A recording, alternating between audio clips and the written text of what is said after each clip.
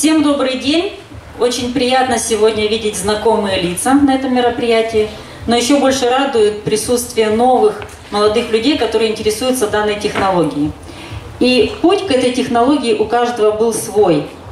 И я думаю, что если попрошу руку поднять того человека, у кого это было в таком роде. У меня все хорошо, все получается. Э, ну, что-то скучно стало, и подумала, пойду-ка я к наутильщикам, у них там что-то интересное, какой-то движ.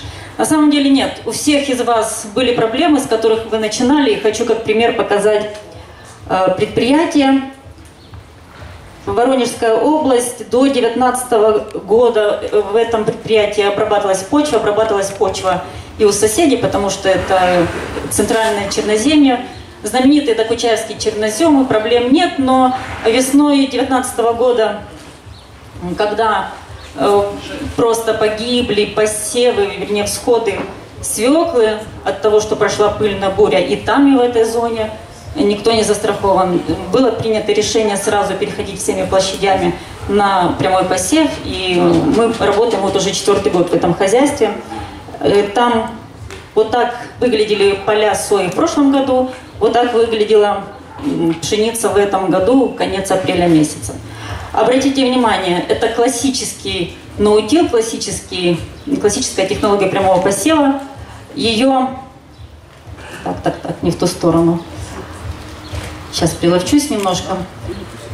Э, два основные элемента, которые определяют технологию. Это, как сказал Виктор Корнеевич, почва не обрабатывается. И второе, то, что на почве постоянно находятся остатки, либо это растительные пожнивные после уборки, либо же мы видим, что на поле растет культура, то есть есть зеленый покров. В любом случае наши поля должны быть закрыты.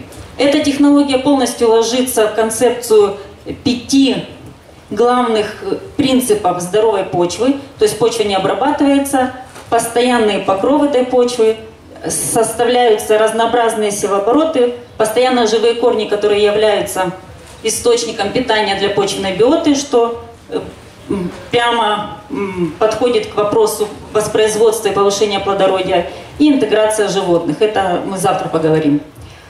Э, я определила основные составляющие технологии наутил пяти пунктами. И если привести метафору, мне кажется, самое удачное это будет строительство дома, когда фундамент – это севообороты, система защиты растений – это стены, крыша – это система удобрений.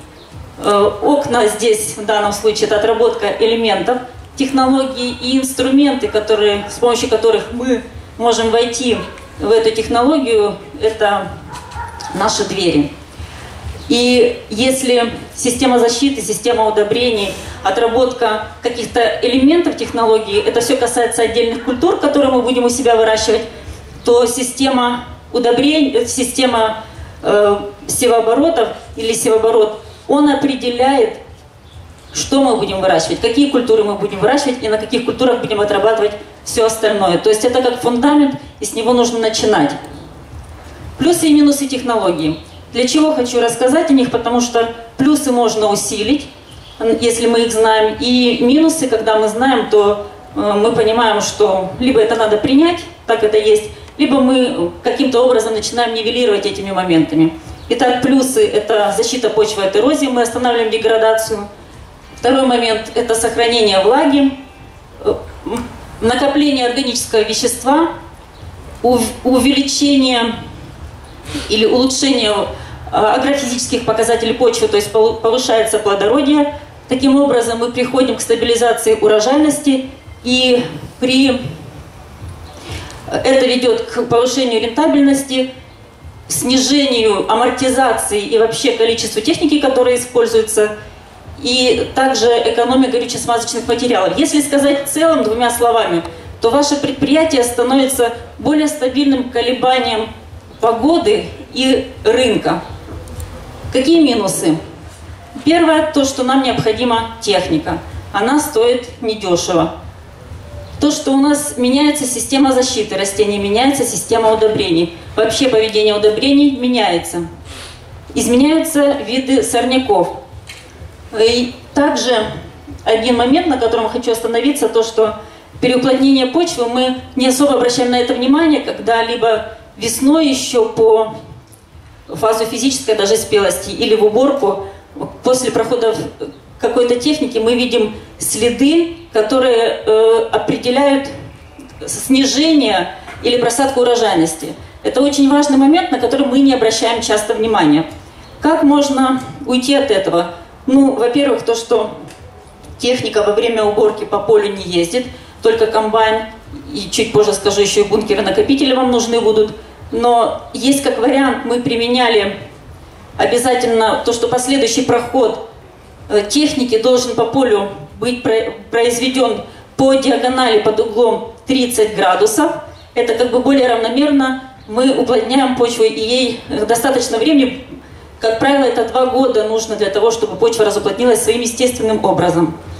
Но я хочу сказать, что в некоторых странах есть такое понятие, как техническая колея. Когда подбирается техника определенных э, размеров, то есть ширина захвата э, кратная или же одинаковая, для того, чтобы то, что попадает под техническую колею, не, а, не засевалась эта часть, а все остальное, если вы обратите внимание, оно имеет идеальные агрофизические свойства, то есть там будет, вы будете иметь максимальную урожайность просто за счет того, что у вас сохранена структура и, и есть все для этого полагающееся.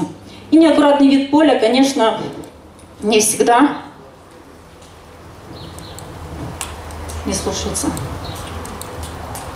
А, не всегда приятно или не всегда приятно слышать замечания по поводу твоего поля. Ну, снова буквально быстро, но тем не менее, э, всегда мы говорим, что технология наутил начинается с уборки. Когда комбайны во время уборки не останавливаются, грузовые автомобили стоят на краю, э, вам необходим, необходимо, всегда советую, прям рекомендую, очесывающую жатку. Это Э, идеальный момент для того, чтобы оставить равномерно стерню на поле. И кроме этого максимально накопить влагу максимально сохранить снег в зимний период. И когда стерня вот в таком после очеса состоянии остается э, на весну или же вам осенью нужно в такую стерню посеять, то здесь пойдет, из опыта скажу, и анкерная, и дисковая селка. Если же к весне после снега, это, э, ну, мы увидим в таком состоянии поле, то здесь, конечно, пойдет уже только дисковая селка. Следующий. А, кто-то сегодня спрашивал, кто такой Факуока. Э, рекомендую очень, для того, чтобы понимать, что происходит с вашими почвами, это все очень хорошо описано у классиков, у Овсинского, у Фолкнера, Факуока. Я рекомендую обязательно эти книги прочесть, тогда очень многое станет на свои места. Обязательно нужно вести книги истории полей. Это сейчас очень удобно делать в электронном виде. Э, записи применяемых препаратов э, вам тоже понадобится через год, когда вы с этим же набором культур подойдете э, к системе защиты и демонстрационные полигоны. Это обязательный момент, потому что те сорта и гибриды, которые хорошо показали себя при одной технологии, при системе наутил они показывают себя по-другому. И там работают и лучше себя показывают другие сорта, другие гибриды. Севооборот. Хочу на нем акцентировать внимание, потому что действительно считаю и с годами еще больше убеждаюсь, что это самый главный пункт, самый первый фундамент. Научно обоснованное чередование сельскохозяйственных культур и пара в пространстве и во времени. Такое определение севооборота вы найдете в любом учебнике земледелия.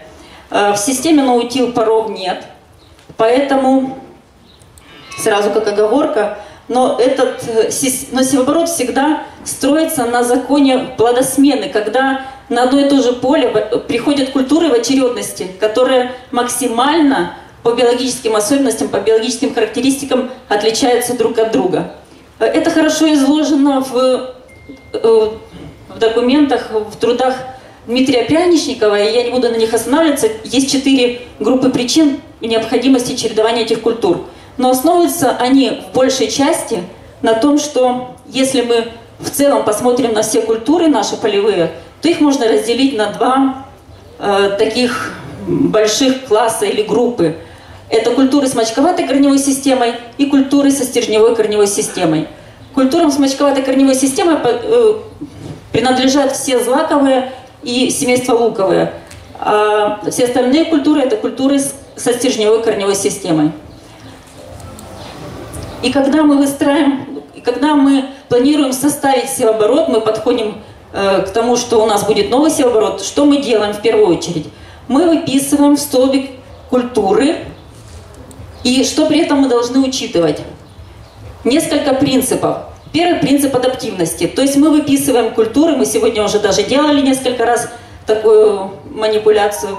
Все культуры, которые э, растут в вашем предприятии хорошо, легко получаются, высокие урожаи.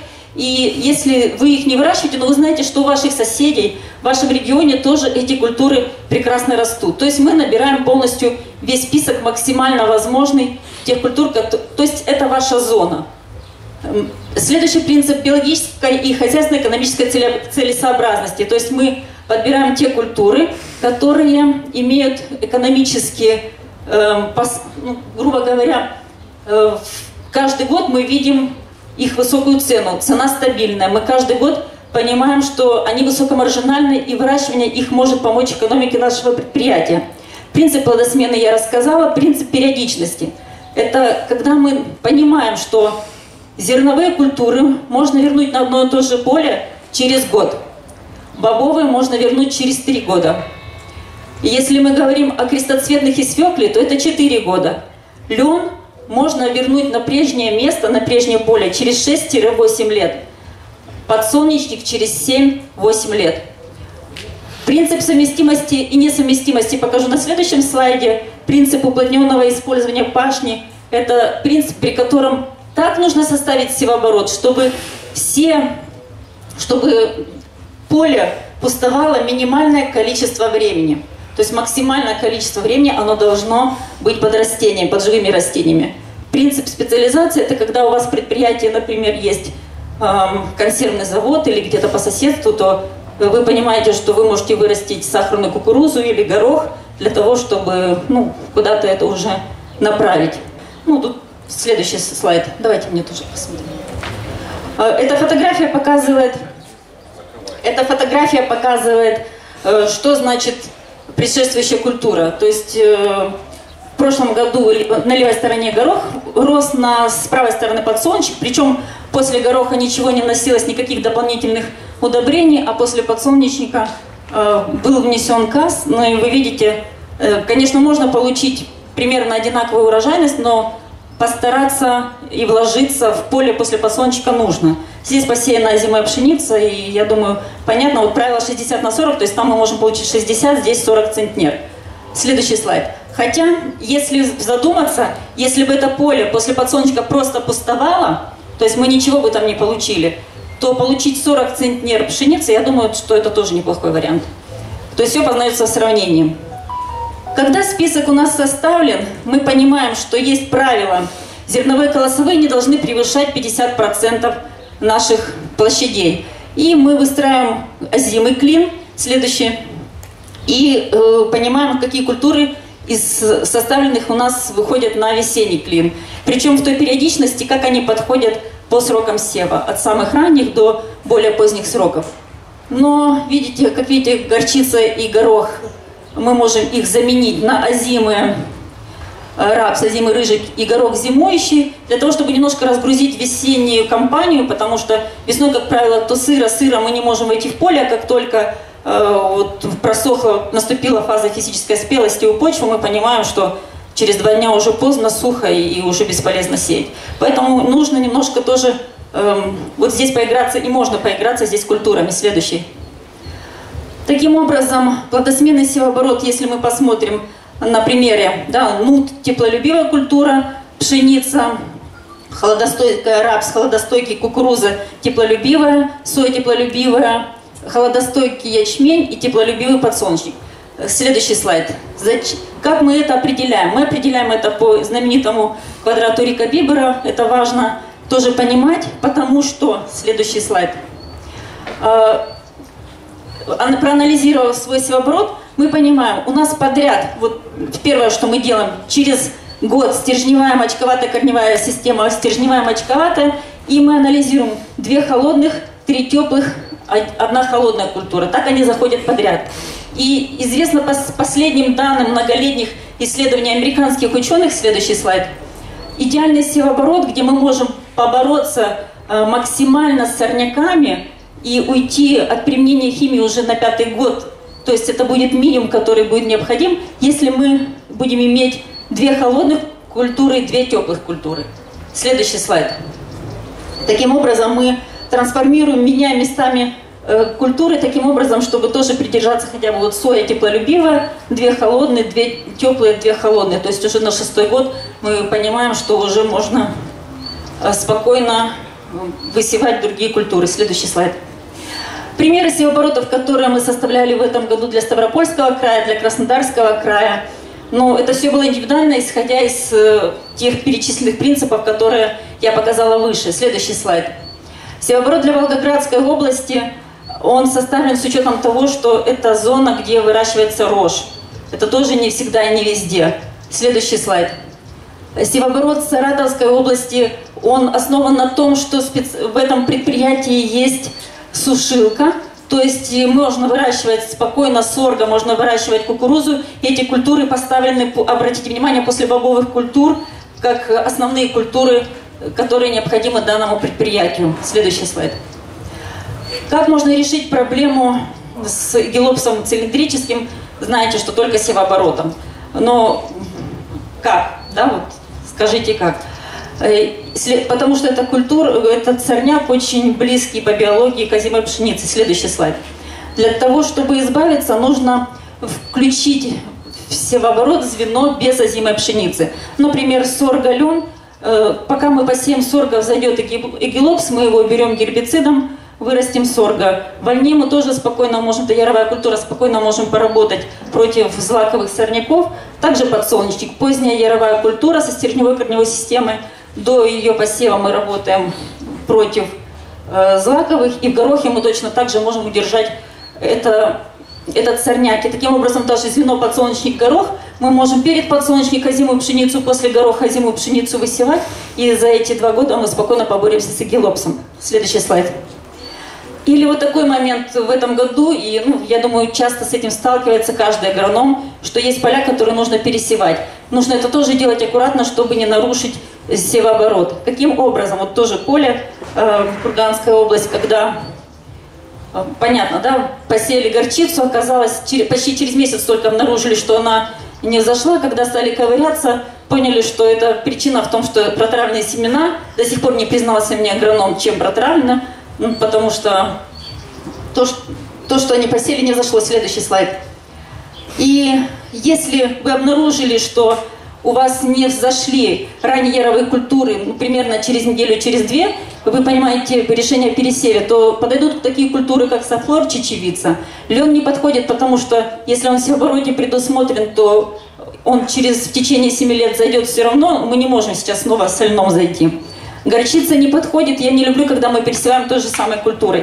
То есть если сложились условия непригодные для сходов этой культуры, то можно, может получиться очень большая вероятность того, что все-таки она не пойдет. У меня были такие истории, когда мы сеяли лен после льна, ну, погибшего пересевали, не получалось. И горчица после горчицы не получалось. То есть тоже такой нестабильный вариант.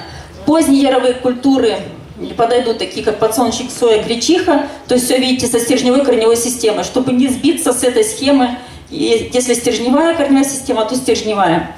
Если нужно пересеять зерновые, колосовые, то Здесь подойдут поздние э, сорго, суданская трава, кукуруза. Тоже очень сложно идет по пересеянию, то есть при необходимости пересева, потому что эта культура очень мягкая, нежная, и она конкуренции не выдерживает. Следующий слайд. Ну, в принципе, у меня все. Старалась говорить быстро, тезисно, и понимаю, что на вопросы ответить уже не смогу. Все будет после выступления. Но хочу сказать, что помните, чем меньше мы вмешиваемся с химическими препаратами, с химическими удобрениями, то мы нашей почве помогаем, потому что из песка и глины наши почвы живыми сделали микроорганизмы. Я надеюсь, что через год, через два мы очень более глубоко поговорим на эту тему, потому что за этим будущее. Я хотел сегодня рассказать о результатах десятилетнего исследования, которое мы проводим в институте. Но я скажу только очень маленькую часть наших результатов, потому что если буду рассказывать о всех результатах, ну, часа мне не хватит. Я остановлюсь только на тех, которые имеют очень большое значение и влияние в практической деятельности, тем, кто занимается технологией наутила. Я думаю, для вас это будет более интересно. И больше того, если я буду эмоционально выступать, я обычно эмоционально, значит, я никого не, э, сказать, не ругаю, не обвиняю, понимаю, что у вас. Я говорю так, как считаю нужным, надо делать в этой технологии. А каждый сам волен делать, сам себе хозяин, пожалуйста, делай как хотите. Но, по крайней мере, будете знать, куда стремиться надо, куда идти, чем, чем, чтобы достичь более высоких результатов. Итак, следующий. Итак, значит, по содержанию продуктивной влаги в почве. Ну, все мы уже знаем о том, что там содержится больше влаги в почве.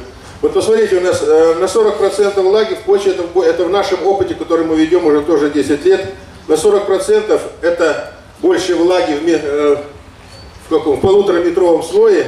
И мы проверяли в 21, вот смотрите, 29 января 21 года в хозяйствах в пшенице в среднем тоже на 42% влаги больше.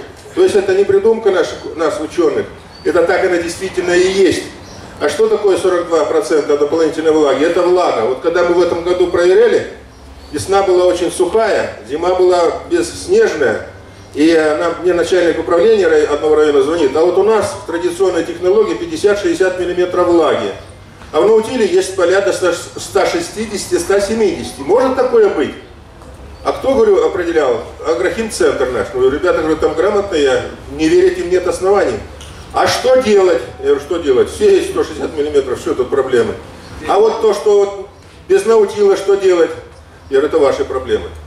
Чего вы мне вопрос задаете? Я вот работаю вот с этим и предлагаю вот это. А что я вам теперь предлагаю? Как вот в тот год урожайность в этом районе, кто по наутилу работал, подсолнечник дал 12,5 центнеров за гектара, а те, кто работали по традиционной технологии, посеяли, многие просто залущили. Он поднялся немножко, начал бутонизацию, кто в бутонизацию, кто в цветении засохли. И урожайность от 2 до 7 центнеров за гектара. Вот результат. Следующий. Это э, было весной. А теперь это вот во время вегетации, когда э, цветение растений. И в среднем 32% дополнительно влаги, или 33 миллиметра, это 330 кубов воды на гектаре. А растительный значит, полив э, по вегетации 250 кубов. То есть это дополнительный полив, который вы произвели для своих посевов. И это очень важно. Это вот как раз есть резерв нашего повышения урожайности. Следующий. Что это дает? Это вот, скажем, вчера э, выступал урожайный Алексей э, Федорович. Видите, урожайный добровольный, который работает по наутил без паров, а все остальные он от 35 до 15 процентов пара имеет. И если они от него отказываются, а было хозяйство, которое отказалось в этом районе, это Ипатовский район, она сразу же укатилась по урожайности и по экономике. И оказалась на грани банкротства. Поэтому с парами здесь в традиционной технологии шутить нельзя, а здесь мы можем обойтись без пара. Следующее. Плотность почвы. Это у нас обыкновенный чернозем. В принципе, плотность почвы находится в оптимальных значениях. В отдельные годы под отдельными культурами, особенно под соей, у которых слабая корневая система стержневая, бывает уплотнение. Но вот следующего года она опять восстанавливается, все нормально. Но есть опасность переуплотнения следующих. Вот посмотрите, это подсолнечник. Обратите внимание, пустоты. Видите? Это край поля. В прошлом году на этом поле убирали пшеницу и выгружали бункера на краю поля. Вот результат. Половина поля пустого. Подсолнечник просто не взошел. Поле переуплотнили. Поэтому вот то, что мы показывали сейчас, вот это лилиане, бункера накопителей, это очень важно. И если переуплотнение поля, сразу урожай будет ниже.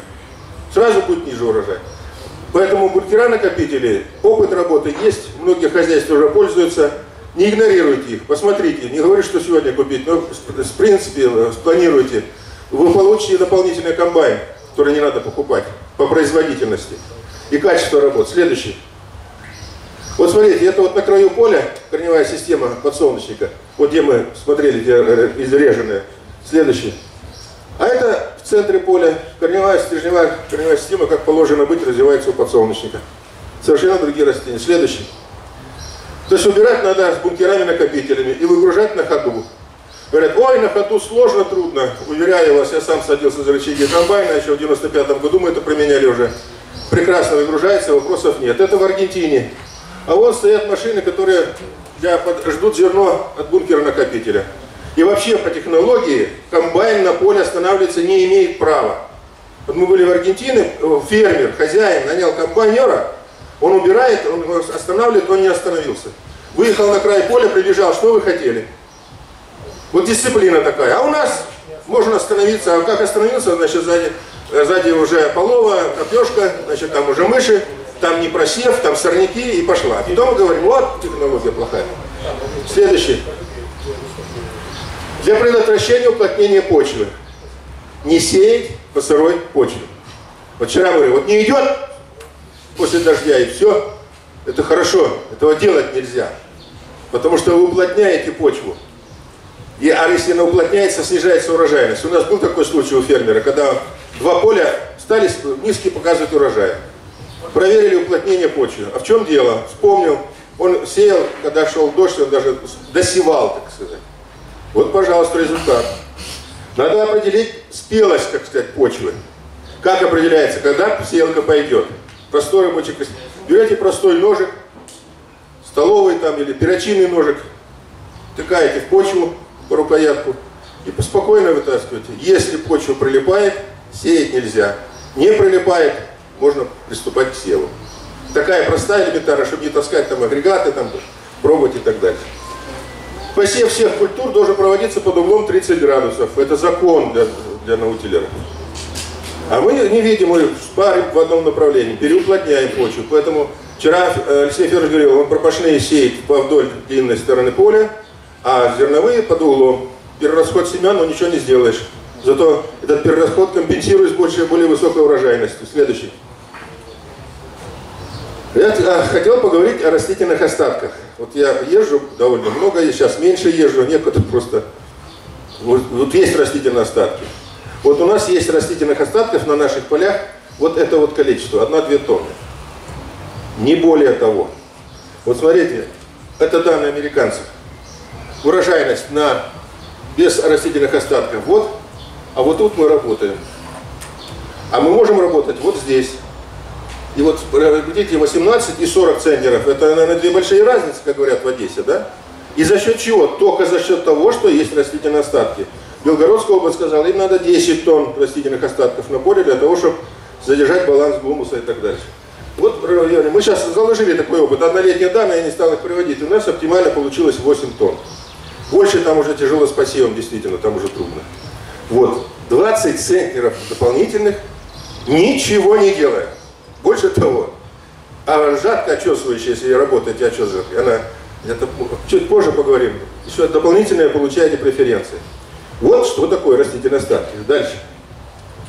Уборка очесом. Вот так выглядит поле очесом. И здесь жатка очесывающая. Мы проверяли, мы проводили опыт.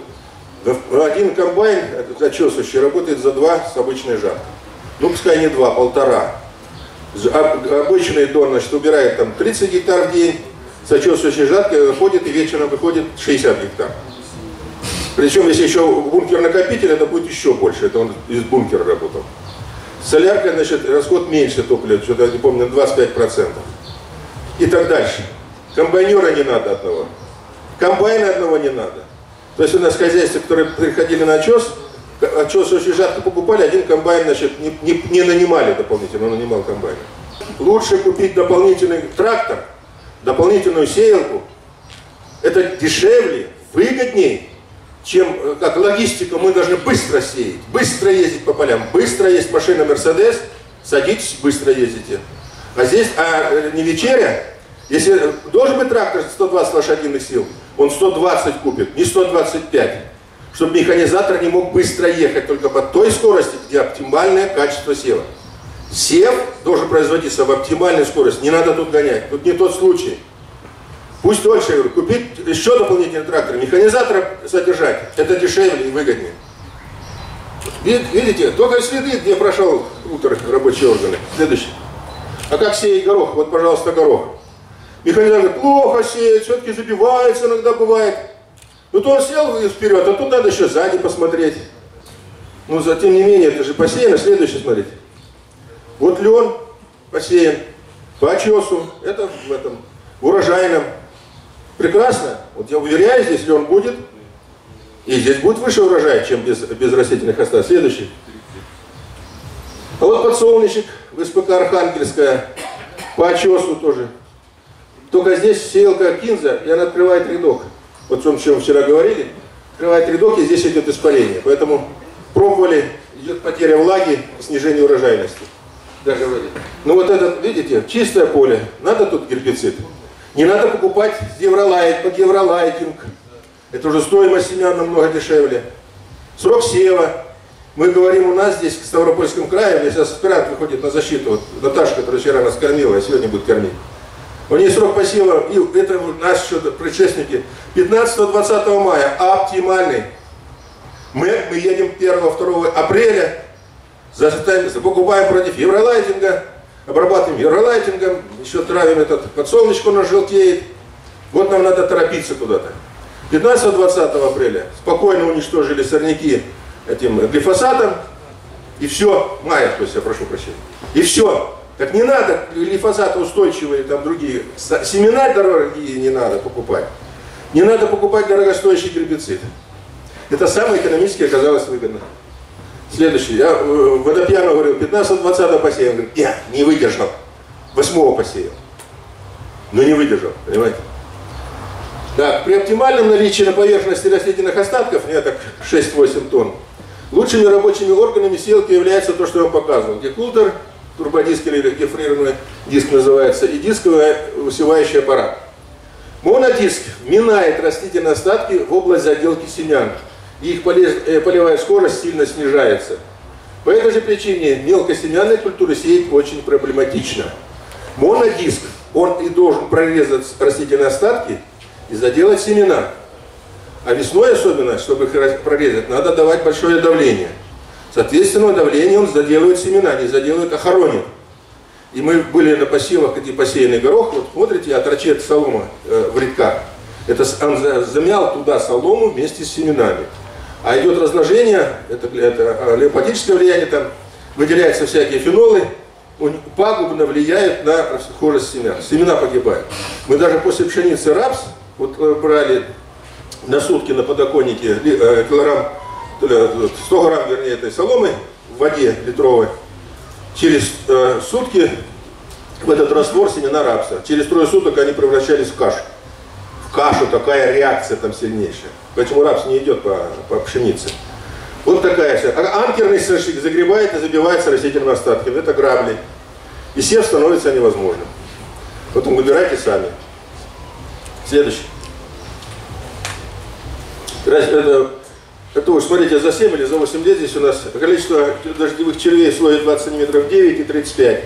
3,5-4 раза больше. С одной стороны, черви говорят, там, что это почва здоровая, там нет никаких пестицидов, на что на нас говорят. Это почва, червь, дождевой червь, это рак в воде. Если рак есть, значит вода чистая. Если вода не чистая, рака там не будет. Так и червя не будет. С другой стороны, они же ходы делают, дренируют почву. Поэтому водопроницаемость, смотрите дальше. Следующий. Тут 5,3 мм в минуту пропускает, а здесь 7. На 31% водопроницаемость лучше. То есть вода быстрее впитывается. Во-первых, растительный остаток, каждый стебелек это плотиночка, задерживающая сток влаги. И вот эти черви, дождевые ходы, вообще все пронизано, как вот решето. И э, тогда, и, кроме растительной э, корневая система, мы же не, не пашем, не, не нарушаем. Тоже дополнительные ходы. Это и воздух обеспечения. И таким образом, следующий. Смотрите, это Архангельская.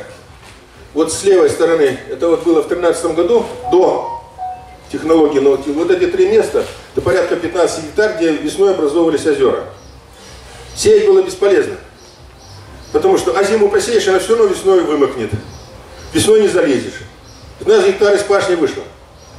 Видите, балочка видна ее проходит. Вот это балка, которая поперек поля. Бел, видите, белое все. Это эрозия, они уже не могли кировцам переехать. Каждый год, значит, заравнивали, заравнивали. Она все равно вымывала, вымывала. Через 6 лет технология наутил, видите, прекратилась, нету этих э, озер, озерков, которые образовывалось. Нету, все сеется, и все, никаких проблем. И вот здесь уже их почти не видно, она уже заровнялась. Шесть лет. И все это почему? А потому что влага остается на полях. как ливневый дождь, как весна, так у них все это шло лавины по этим это балкам, все уходило к соседям, от соседей дальше, и во враги дальше какие-то дальше. Следующее. В Архангельском за 6 лет длина линейной водной эрозии с 23 километров до 13 снизилась. За эти же годы соседям добровольным, которые обрабатывают, пашет, увеличилась с 9 до 10,5 килограмм. Это очень важно, потому что потери идут от эрозии именно. Следующий. Выключите. В Ставропольском крае, в 2020 году, выключите его, потом я включу. Сколько, да. Значит, в 2020 году посекло 51,5 тысячи гектар, э, засыпано э, мелкоземом 22 тысячи, погибло 6 тысяч гектар пшеницы. Никто внимания не обращает. Это нормально.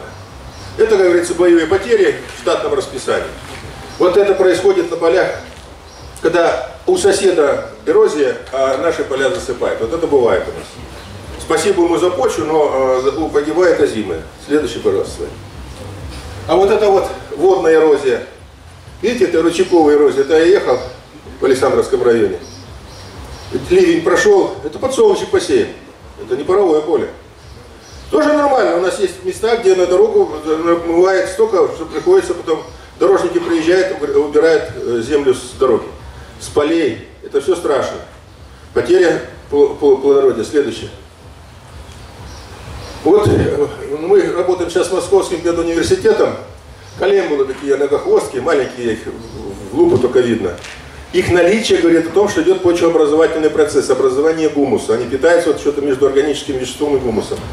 Вот смотрите, в рекомендованной технологии их 2,6, 1,3 единицы, а здесь 15-30, десятки раз больше. То есть это э, дополнительно, как бы, ну как ее назвать, э, показатель, что здесь идет положительный процесс почвообразования. Следующий. Гумуса вот, э, за деротацией силоборота. Снижение в традиционной технологии на 14-13%, причем внесение удобрений ничего не дает потери почвы гумуса идут, удобрения просто поддерживают урожайность, может повышает. При прямом посеве, видите, увеличение на 9 сотых и 16 сотых. Достоверное увеличение содержания гумуса. Это в нашем опыте, который мы ведем уже 10 лет. Следующий. Теперь, вчера говорили о том, что биологический метод защиты это э, определили мы полезную патогенную микрофлору, то есть вредную. Смотрите, в, те, в технологии в этот традиционной технологии 24 тысячи, тут 13, два раза меньше патогенной, то есть вредной микрофлоре. По четырем культурам силоворота. А полезной, наоборот, 48 тысяч, а тут 56 тысяч. Причем появилась даже это, триходерма. Мы не работали ни в один год никакими биопрепаратами. То есть это естественный процесс. И почему он есть? Потому что растительные остатки на поверхности почвы размножается целлюлоза-разлагающая. Там же целлюлозы много. И они подавляют патогенную микрофлору, потихонечку ее вытесняют. И вот здесь тогда можно говорить о биологизации. Я за биологизацию, за применение, ну, скажем, на этих посевах биологических препаратов. Но у нас опыт, чтобы не вводить лишний фактор, мы этого не делали. Вот такой результат получили. Это очень интересный результат. Ну, какие рекомендации, как бы, наши, которые у нас есть. Я не агрохимики, тонкости не беру. Значит, определить надо содержание подвижного фосфора, калия в почве перед, ну, и азота, если вы определяете, значит, сразу после уборки, не, азот здесь не надо, после уборки предшественника и пшеницы. И тогда, значит, до покупки удобрений разобрать. Мы покупаем удобрения, то спрашиваем, а как их применять? А может их не надо покупать, а может покупать надо было другие. То есть это надо сделать заранее, до покупки удобрений. Определить эффективные дозы под озимую пшеницу. Под пшеницу и кукурузу можно вносить максимально большие дозы. Это уже от финансовой возможности каждого хозяйства. Кто-то не смотрит, завтра мы поедем э, к Водопьянову, он не смотрит, он шпарит большие дозы азота, азотонной пшеницы, он получает урожай. У него тоже было, он выходил на уровне 30-35, а сейчас выходит на уровне 50-55, он тоже выйдет на 60. Поверьте, выйдет. И когда мы говорим об этом, не верят нам. При содержании в подвижного фосфора более 25 мг можно применять только вот по 20 при посевной внесении, это 125 нитромофоски. О чем мы говорили, когда содержание фосфора больше 25. При содержании фосфора в почве больше 20 мг подсолнечник на удобрение на фосфор не, не реагирует. Это испытано много раз, и у меня защищался аспирант по этому вопросу. То есть тут нет смысла бороться, лучше отдайте их под пшеницу, под зерновые культуры, там будет, под кукурузу отдать, там будет более эффективно. И при выращивании сои удобрения лучше вносить под предшествующую культуру. Соя тоже не реагирует на удобрения. Расул защищался и докладывал, что при несении удобрений у нас соя не давала прибавки. Во вниимке ему дали за правдивое доклад, что сказал правду. У них эти данные тоже такие. Я просто задумался, почему, вот уже мы 10 лет как бы работаем по наутилу, начинали и уже как бы перешли и работаем. И я задумываюсь, почему э, Российская Федерация вся не переходит на наутил. Э, и ответ такой. Мы во всем проигрываем. И они хотят быть чемпионами, а мы всегда аутсайдерами. Да. И э, это связано с несколькими причинами. Одна из главных из причин, вот Саша, почему я задал вопрос, это позднее созревание почвы. Позднее созревание почвы, значит мы позже входим Значит, если мы позже входим в яровой сев, значит, мы позже косим этот яровой сев, значит, мы позже входим в озимый сев. И в связи с этим у нас или по вегетации должны быть э, подобраны там сорта с низким фау, э, чтобы это, значит, мы уже теряем урожайности, да, и точно так же мы э, как бы и озимую пшеницу как бы входим. Но по урожайности я бы не сказал, что мы проигрываем, но мы проигрываем вот это именно э, в подходе. Не каждый может выдержать там до июля месяца незасеянные поля содержать. Ну не каждый. Причем, ну как бы, конечно, холдинг имеет, может себе позволить ну, перейти даже некоторые остатки и ну, на, на другой год незасеянными оставить. Э, значит, это одна из причин. Значит, э, э, сейчас я быстренько презентацию расскажу. Значит, по нашему Краснодарскому краю в этом году за у нас 600 миллиметров осадков, да, но с октября по май выпало, короче, более более 800 вот за, за вот эти полгода. Короче, посчитали годовое, получилось больше тысячи в этом году. Ну, тот год, который был. Э, можно? Значит, что мы сделали? Ну, э, Ольга Леонидовна не даст соврать, по кукурузе нельзя этого делать, а по подсолнечнику я это сделал. Значит, мы просто засеяли в, зелен, в зеленые, мы некоторые поля просто не успели с осени э, раундапом накрыть раундапом. Я оставил падалицу озимой, озимой пшеницы, здесь были покровные культуры, они вымерзли, там погибли. Но падалица осталась, и мы 7 апреля, короче, засеяли прямо в, зелен, в зеленку. В зеленку. Ну, э, как бы, и меня вот это поле, э, другое я не стал там рядом, да, значит, примерно одинаково выглядит, где зеленку, где не в зеленку. И по урожайности я посмотрю, как бы это. То есть, если, допустим, засушливый год, можно, э, я думаю, что оставлять, э, а, а лучше всего не то, что оставлять, а там, где сеешь ранние яровые культуры, допустим, горох, да, то надо сеять озимые покровные культуры, что в этом году мы будем практиковать. Дальше, пожалуйста. Значит, э, в этом году, так как осадков выпало много, значит, из тысячи гектар у нас э, э, было, просто погибло 300 гектар. Но оно погибло вот таким образом, да, мы просто накрыли, это в конце мая, 15 мая посев, да, но, наверное, это посев даже позже был. Значит, мы пересеяли 300 гектар подсолнечником, и практически уже пшеница выкидывала колос. Дальше, пожалуйста. Вот вы видите, да, уже пшеница в колосе.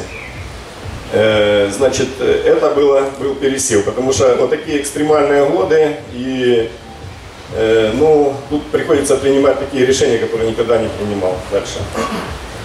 Значит, э, что наблюдается? Еще нажмите там вторая. Значит, на черной земле всходы появляются, на, э, там, где стерне, только, только ключка. И, кстати, потом мы сравним тоже урожайность. Дальше, пожалуйста. Значит, по пшенице мы перестали работать э, фунгицидами и инсектицидами. Значит, отработали грибным компостом вместо фунгицидов. Э, И вижу, вижу, появилась божья коровка, думаю, ну, не просто что она там появилась.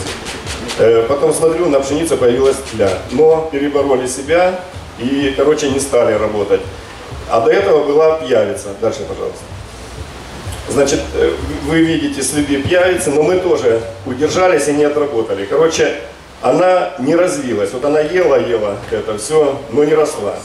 Ну, или, или она толстый стебель, наверное, ну, восковой налет, там, зубы поломала. Или, может, ну, погодные условия, ну, не знаю. Ну, что-то что ей, короче, по- подохло. Дальше. Так, э, Так, э, а это теперь мы уже переходим э, к э, сеялке, которая называется тыкалка. Вот я, это уже второй вариант. А можно вопрос? Вот просто непонятно, что с озимкой случилось. С, с какой? Вот которую, которая колос, по- почти выбрасывал колос. Почему вы ее Э, э, Ну, было поле 300 гектар, да, и, короче, там, ну, вот эта где фотография, там гектар, наверное, 5 или, или это. Ну, мы не стали там вот этими клочками пересеваться, мы накрыли все поле, и там, там вообще под водой стояло, поэтому... Да.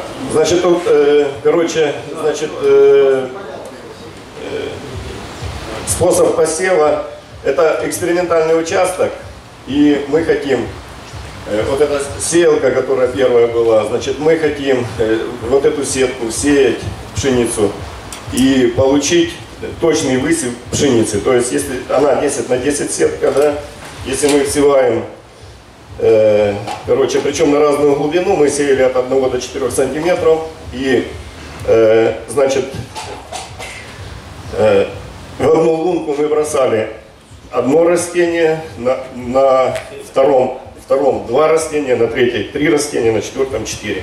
В одну лунку. И точно так же глубина на 1 сантиметр, на 2, на 3, на 4. Квадратиками посеяли.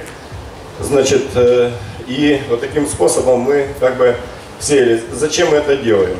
Я считаю, что если мы сделаем сеялку, которая будет сеять вот таким образом, не разрезая почву, протекила, то мы уйдем от вот этих проблем, которые есть на сегодняшний день. Это мы не будем ждать созревания почвы. Для нас будет только одно. Э, Так как он- у нас будет наоборот, из, из недостатка мы пре- превратим преимущество. Почему? Потому что по стерне мы просто поедем, да, втыкаем вот это все. И для нас будет важна только температура, температура почвы. Но летом температура всегда нормальная, поэтому я думаю, мы просто, если мы решим вопрос э, с яровым входом в яровой сев, значит мы тогда решим полностью проблему э, ну, с уборкой, и вот, это, вот этого не будет смещения, а если не будет смещения, значит э, ломается что-то. Значит, мы тогда победим классиков. И вот тогда, тогда они все станут наутильщиками. Ну, да- дальше можно? Я покажу. Ну, короче, вот, вот таким образом это все сеялось. Э, вот он бросает и вдавливает. Э, Значит, мы почему сначала, прежде чем делать селку, мы так сделали, мы посмотрели, вдавливается ли культура. И сейчас мы провели не только э, сев э, озимых, но и сев яровых. Так вот, по подсолнечнику скажу, что мы вдавили, не, не весь подсолнечник зашел. Дальше, пожалуйста, можно Пр- пропустить. Так, вот это они выглядели, посевы. При, при всем том, что у нас были, вот это было все, в воде стояло, плесы. Вот вы видите почву, да? Это были плесы, вот это были посевы, которые кустились. Э, пшеница кустилась там, где по одному зернышку на 4-5, там, где 4 зерна было вместе, э, она кустилась где-то 1,4 коэффициент пущения был.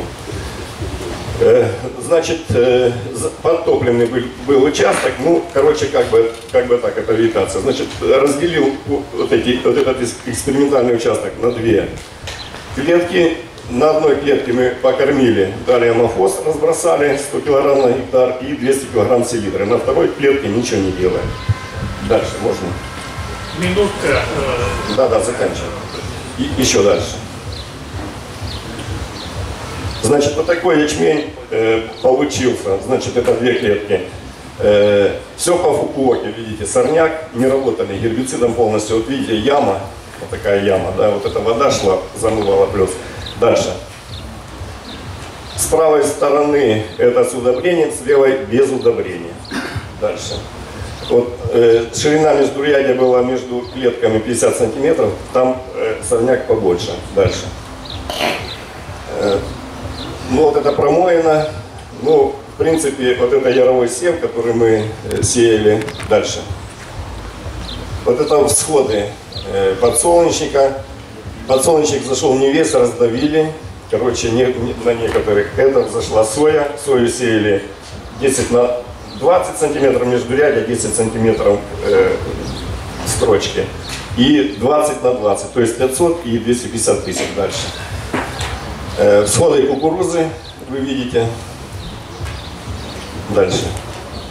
Тоже всходы кукурузы, но э, мы еще помимо того, что мы сеяли, остановитесь здесь, Значит, помимо того, что мы сеяли, э, значит, мы еще делали опыт, мы разводили карбамид один к одному, один к двум, и вливали 1 миллилитр в, э, в точку посева. Зачем? Посмотреть, спалим мы или не спалим. Это для того, чтобы потом, если мы сделаем сеялку, чтобы или в точку посева, или рядом ЖКУ лить. Поэтому так. Ну, на сегодня у меня все, я заканчиваю презентацию. Но нет, оставьте это. Э, Пусть почитают. И, короче, все.